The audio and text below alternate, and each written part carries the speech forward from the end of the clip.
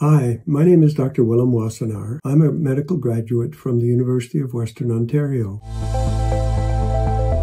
Osteoarthritis is one of the most common arthritis, and it is some kind, sometimes called wear and tear arthritis and is associated with uh, aging. During the process of osteoarthritis, there's a loss of cartilage.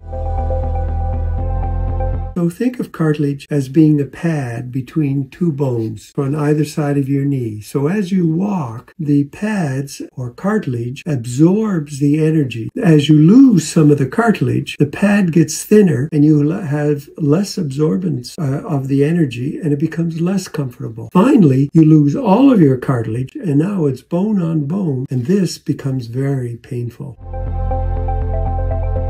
One, it's absolutely important to have good nutrition, and two, exercise. Now, exercise works in two ways. Exercising your muscle means that you keep your muscle healthy, and that helps keep the joint aligned so we don't injure the cartilage. Secondly, imagine cartilage as two pads between your long bones. So as you step on your foot, you squeeze the cartilage and you squeeze out the toxins that are produced by the chondrocyte that is, the chondrocyte is the cell that maintains healthy cartilage. And then as you walk through your swing, then again the, the cartilage expands and draws on new nutritious fluid.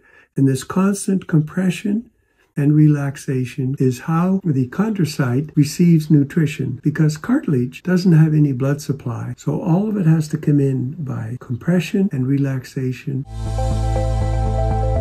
The usual treatments involve an analgesic, analgesics such as ibuprofen or acetaminophen. And then there are the glucosamines. Glucosamines are quite popular, and there are at least three glucosamines on the market. There's glucosamine hydrochloride, glucosamine sulfate, and N-acetylglucosamine. The reason is that N-acetylglucosamine is an essential element of the functioning of the human body. It is also found in human breast milk. It differs from glucose in that it's a larger molecule and does not interfere with cellular uptake of sugars and hence is considered to be diabetic friendly. N-acetylglucosamine, because it is naturally occurring in the human body, um, it is not known to have interactions with other medications or with other substances that you may be taking. Is very stable and is also neutral so that it doesn't upset the stomach. We believe N-acetylglucosamine is the right choice.